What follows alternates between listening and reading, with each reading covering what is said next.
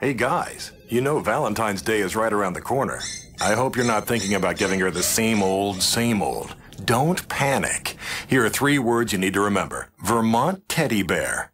Picture this. You bear gram her at home or the office with one of the many love bears, and when it arrives, well, you can almost hear it now.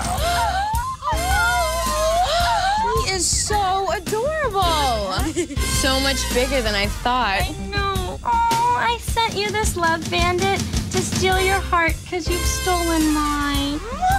Where can I get a guy like that? Guys, if you want a great response to your Valentine's Day gift, call now or do it online at VermontTeddyBear.com. Come on, guys, for about the price of a dozen roses, a Vermont teddy bear keeps giving and giving. They're handmade in Vermont and guaranteed for life. You could even have a bear personalized with her name. Order now. Overnight and Valentine's Day delivery is absolutely guaranteed. It's a sure thing.